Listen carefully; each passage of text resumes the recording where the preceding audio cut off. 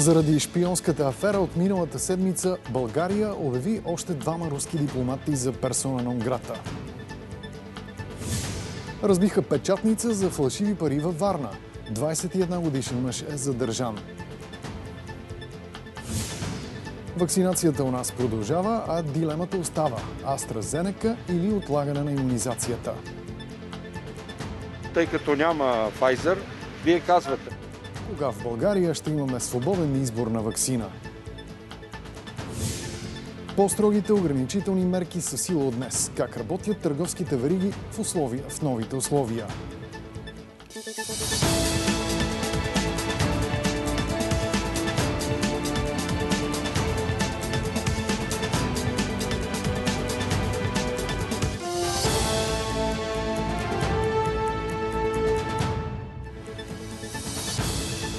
Късните новини по света и у нас в понеделник, 22 март. Добър вечер. Спасителна акция в Рила следите на 34 годишен сноубордист се губят от вчера следобед, когато с приятелите си се спускали по пистите над Благоевград. Повече от 24 часа планински спасители го издирват безуспешно. Изчезналият мъж и двама негови приятели цял ден карали по пистите на скизона Картала. При последното спускане обаче, малко преди 16 часа вчера, решили да излязат извън скизоната и да се спуснат по един от улеите. Изчезналият сноубордист тръгнал последен. Долу, когато, където са се разбрали да се съберат, там където се събират двете писти, момчето не идва. И те си мислят, че понеже е по-изморен, слизат тук в а, кафето на хотела, чакат го и след 15 минути започват леки притеснения. След още половин час тези притеснения прерастват в тревога. Акцията по издирване на младежа започна късно с нощи и продължи цял ден. Планински спасители, доброволци и спасителни кучета тръгнаха към мястото, където вчера са паднали две лавини, едната от тях много голяма и плътна, тип снежна дъска. Беше мъгливо и не се, нямаше хубава видимост. В горната част вече снега, новия сняг от тази нощ само беше над 30 см. Кучетата затъваха. Ние затъвахме, стръмно, тежко беше. Район голям около пистата беше прегледан. Някои места, дето ни сравняваха по два пъти, по три пъти, но няма резултат никакъв. Всички места, където е възможно да се намира младия мъж, са претърсени от спасителите и доброволците. Търсиме и главко пасено. Без никакви изходни точки, освен последното място, на което е видян, но оттам нататък никаква информация на къде може да е хванал. Нямаме реално а, актуални данни за GPS координати, за съжаление. През деня телефонът на изчезналия сноубордист беше включен, но той не отговаряше. И към другия инцидент в лошото време днес, редица технически експертизи ще търсят причините за тежката катастрофа в района на Великотърновското село Козаравец, при която загинаха трима души. Това съобщиха от полицията и прокуратурата във Велико Търново. Инцидентът стана около полунощ, а главният път между София и Варна в участъка на катастрофата остана затворен за движение часове наред. 20-годишната студентка по медицина Билгюл Харунова късно с нощи трябвало да се прибере с автобуса от Велико Търново в родния Омуртак. Закъснява и мястото й вече е заето. Качих се в автобуса, билета ми беше за трето място.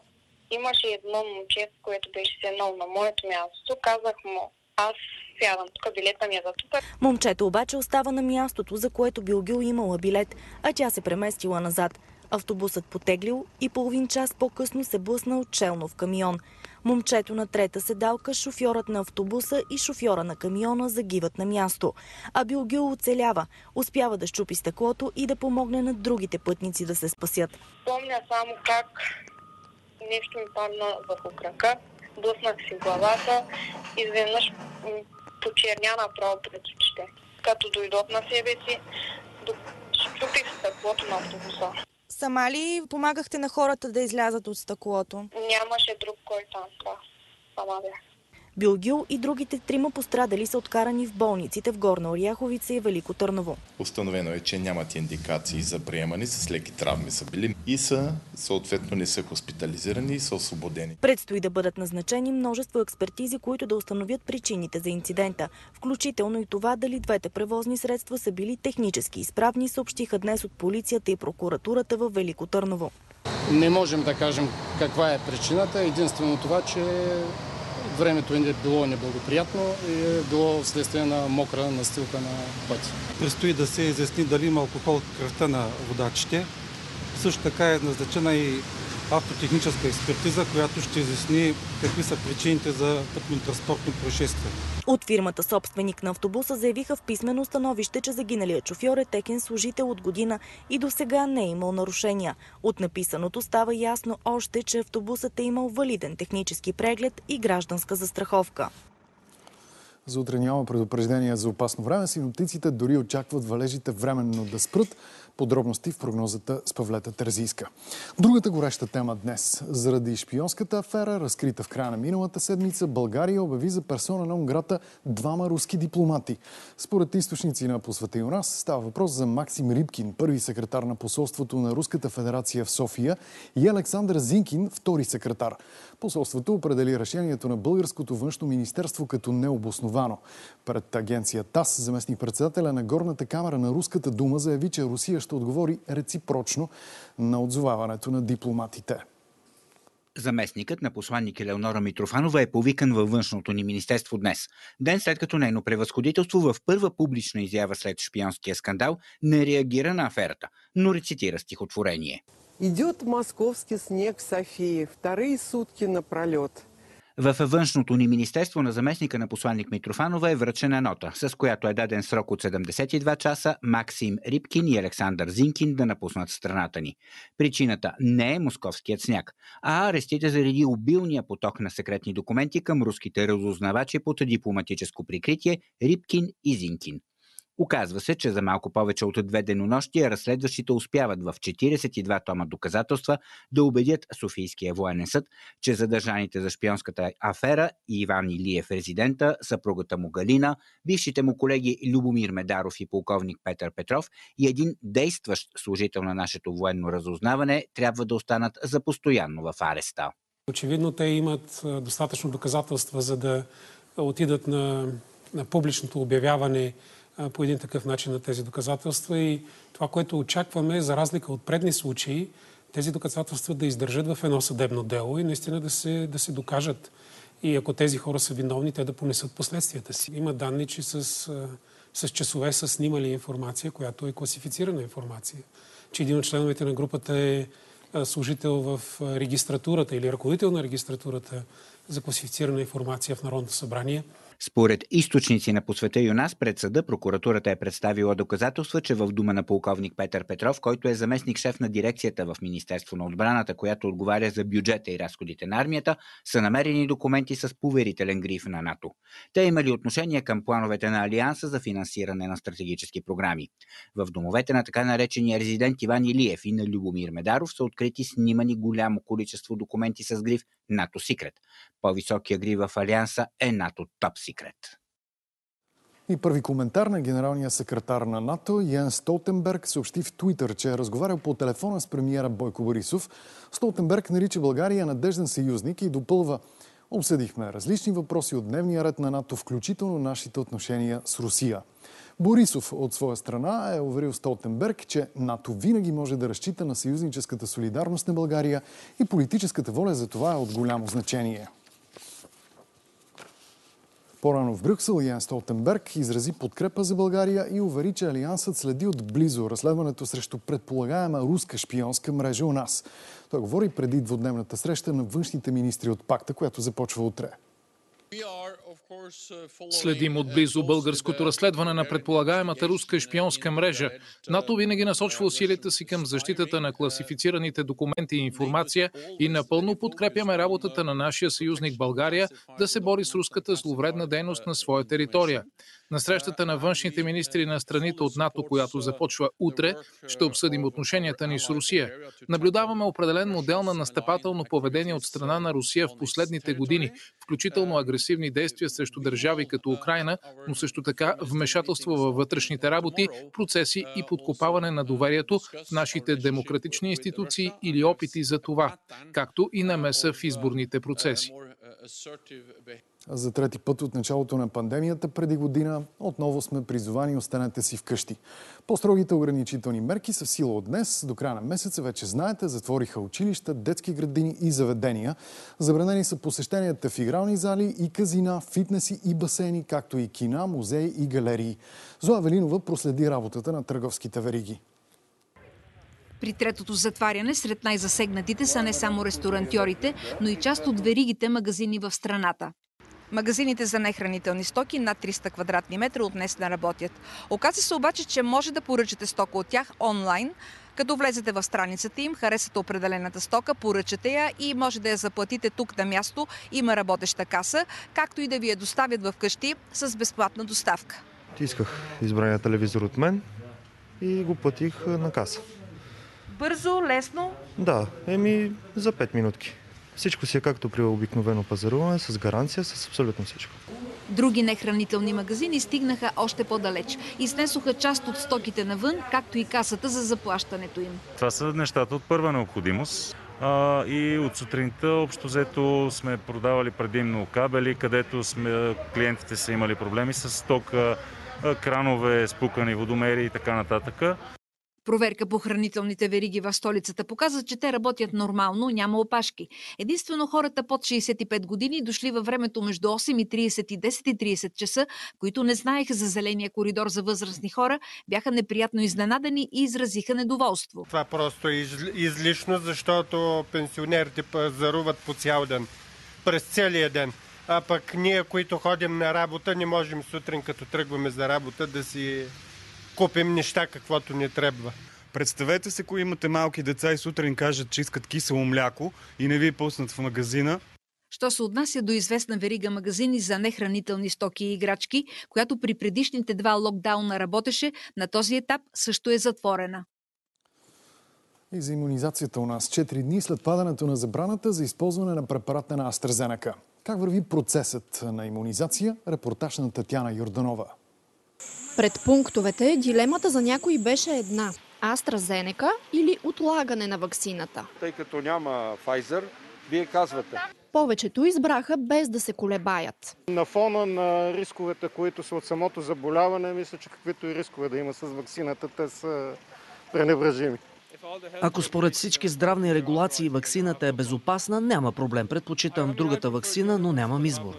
И лекарите не смятат, че има спад в желанието на хората да се вакцинират. Има хора, които са записали ЕРНК вакцина, обаче като разбират, че няма и минават си на AstraZeneca. Най-добрата вакцина е всъщност поставената вакцина. Не липсваха и такива, които обикаляха пунктовете, за да намерят вакцина различна от AstraZeneca. Предпочитам да изчакам Pfizer. Но не само, че нямаше вакцини на Pfizer и Moderna. В пунктовете, които обиколихме, и AstraZeneca се изчерпа. Проблем, който засяга и личните лекари в столицата. При нас има 400, около 400 хиляди човека, които чакат да бъдат е, иммунизирани. И далеч от столицата. Процесът на вакцинация се оказа почти невъзможен процес. Беше практически блокиран поради липса на вакцини. Специално за моята практика, два флакона, 20 дози, за 280 чакащи в моя списък. И ще почакат, докато България получи по-голяма пратка от ваксините. Следващия месец се очакват някъде около 300 хиляди вакцини и всяка, всяка флаконче, което влезе в България, веднага бива разпределено към пунктовете за вакцинации и към личните лекари. От Здравното министерство предполагат, че едва тогава дилемата пред пунктовете ще изчезне и право на избор на вакцина ще има наистина. Изпълнителната агенция по лекарствата публикува продуктовата информация за вакцината на Джонсън и Джонсън, подобно на AstraZeneca и тя е векторна, но се прилага само в една доза и може да се съхранява в обикновени хладилници, а това прави крайно удобна за масова вакцинация. От вакцината на Янсен очакваме 2 милиона дози и първи доставки през месец април. А вакцината на AstraZeneca има 79% ефективност за предотвратяване на симптоматични случаи на заболяването, съобщиха от компанията. Това показват резултати от мащабно проучване, проведено в Съединените щати, Чили и Перу. Ваксината е безопасна и 100% ефективна при предотвратяване на тежко боледуване и влизане в болница. В проучването са участвали над 32 000 доброволци от всички възрастови групи. В нито една от тях не е регистриран повишен риск от тромбози. Освен това, проучването показва 80% ефективност и при иммунизирани над 65 години. И още Ефикасността се увеличава, ако се удължи периодът за поставяне на двете вакцини повече от 4 седмици.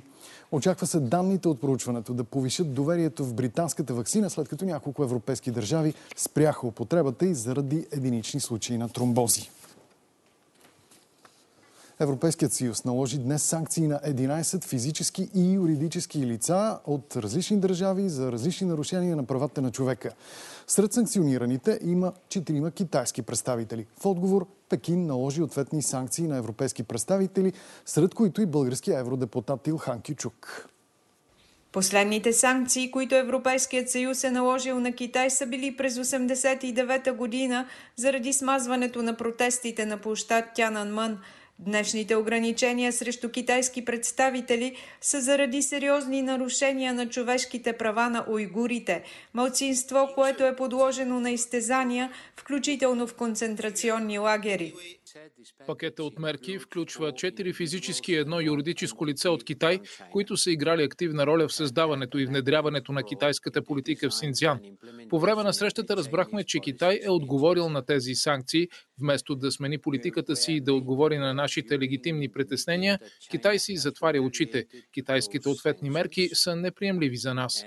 Сред санкционираните от Китай европейски представители има и евродепутати, сред които е и българският Илхан Кючук. В черния списък на Пекин влизат още политици от Нидерландия, Белгия и Литва, както и учени. Министрите на външните работи обсъдиха днес и отношенията с Турция. Според Брюксел през последните месеци се наблюдават положителни стъпки от страна на Анкара за възстановяване на диалога с Брюксел. Проблемна за Европа обаче остава вътрешната ситуация в Турция – Европейският съюз призова Ердоган да се върне към Истанбулското споразумение, което страната напусна в събота. Убийство в Ямбол. 56 годишна жена е намерена мъртва в вилната зона на града. Задържана за 72 часа 47 годишен мъж от Ямбол. Инцидентът се е разиграл към 22 часа в събота. Убитата заедно с мъжа, с когото живее на семейни начала, са се срещнали с задържание на черен път след спречкване. Задържаният извадил нож, с който нанесъл няколко рани на мъжа, след това и на жената, която по-късно издъхнала. Мъжът е в стабилно състояние и е разпитан като свидетел. За инцидента е съобщил вчера, рано сутринта, познат на пострадалия. Задържаният е безработен и не е криминално проявен. Утре или в други ден ще бъде внесено искане в съда за вземане на постоянна мярка за неотклонение за държане под стража. Ножът е намерен, иззете като веществено доказателство, иззета е и дреха, следи от кръв, която предполагаме, че е на извършителя. От събраните към момента доказателства, действително може да направим основателно предположение, че задържаното лице е извършител на престъплението. 21 годишен жител на Варна е задържан за печатане и разпространяване на фалшиви банкноти от 50 лева. Той бил задържан след като платил с фалшивите пари в денонощен магазин, пицария и в такси. Измамените пък подали сигнали в полицията. Мъжът има регистрация за грабежи. В момента е с постоянна мярка задържана под стража. В нет от него апартамент е открита действаща печатница за фалшиви пари. Там са намерени над 80 готови неистински банкноти от 50 лева и много неизрязани банкноти на същата стоеност. Намерени са да ги наречем заготовки, т.е. отпечатъци на такива банкноти, но все още не оформени като парични знаци, както и печатащи устройства. Има доказателства за това, че същото лице е употребявало неистински парични знаци, за да прави дребни покупки. Всичко това е предмет на разследване и ще бъде установено преди внасяне на обвинителния акт. Истински екшен се разиграва в търговски център в Бургас. В най-големия мол в града клиент е размахал нож срещу лицето на охранител. Мъжът отказал да спази наложените мерки за двупосочно движение и проявил агресия срещу един от служителите. Скандалът се разиграл вчера малко след 18 часа, когато молът бил пълен с посетители. Охранителят на търговския център направил забележка на мъжа, че трябва да спазва противоепидемичните мерки и да напусне мола от вратата, на която пише изход. Влизането и излизането става от различни места заради пандемията от коронавирус. Мъжът не е послушал предупрежденията на охранителя и вместо да се насочи към изхода, той е започнал саморазправа с него. 44 годишен криминално проявен бургазлия не е съобразил поведението си. Взел нож, който е държал под дрехите си, размаха го е заплашително спрямо 32 годишният охранител. Нарушителят се опитал да избяга, насочил се към кафето, което се намира до централния вход, но бил изненадан от пресрещналите го полицаи. Охранителят успял на време да натисне паник бутона и за секунди на място са пристигнали служители на МВР. Бургазлията е задържан за срок от 24 часа и образувано бързо производство. В същото време от търговския център отказаха коментар пред камера. Хора, пътища и животни пострадаха в най-тежките наводнения, които преживява Австралия от поне половин век. Бедствието е в най-гъсто населения щат Нов Южен Уелс. Там рекордните дъждове продължават и на места количеството им надвиши 100 мм.